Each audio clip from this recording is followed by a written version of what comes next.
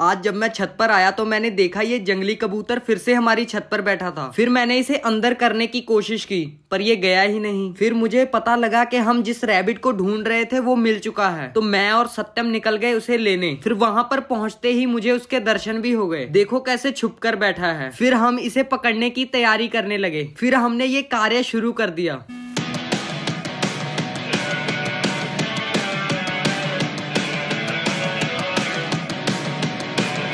इतनी भाग दौड़ करने के बाद भी हमें कामयाबी नहीं मिली और हम नाकामयाब रहे इसकी वजह से। फिर से ढूँढने आ गया। और कुछ देर के बाद ये मुझे फिर से मिल ही गया, पर फिर भी हाथ ना लगा। अगली बार इसे हम पूरी प्लानिंग के साथ पकड़ेंगे। तब तक के लिए लाइक सब्सक्राइब कर लो।